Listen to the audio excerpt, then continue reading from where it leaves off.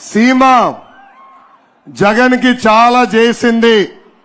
కానీ జగన్ సీమకి ఏం చేశాడని ఈ సభాముఖంగా అడుగుతున్నా.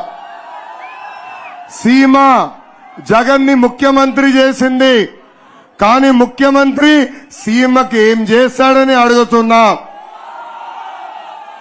యాభై రెండు శాసనసభ స్థానాల్లో నలభై తొమ్మిది శాసన సభ్యులు వైకాపా పార్టీని గెలిపించింది ఈ సీమ.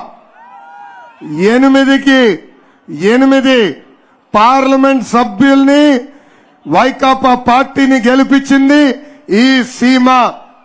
కానీ ఒక్క మాటలో చెప్పాలంటే ఈ జీ జగన్ సీమని చీట్ చేశాడు. ఒక్క సాగునీటి ప్రాజెక్ట్ అయినా పూర్తయిందా? ఒక్క పరిశ్రమ ఈ సీమ కన్నా తీసుకొచ్చాడా? కనీసం సీమలో ఒక్క ఇటుక ఈ ప్రభుత్వం వేసిందా అని ఈ సభాముఖంగా అడుగుతున్నా.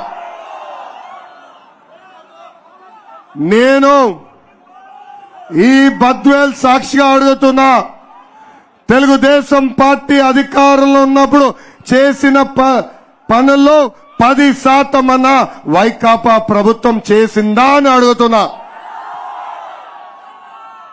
రెండు వేల పంతొమ్మిదిలో నలభై తొమ్మిది శాసనసభ్యులు ఎట్లయితే వైకాపా పార్టీకి ఇచ్చారో ఇరవై ఇరవై నాలుగులో అదే మ్యాండేట్ మాకు ఇవ్వండి. సీమని దేశంలో నంబర్ వన్ చేసే బాధ్యత తెలుగుదేశం పార్టీ తీసుకుంటుంది.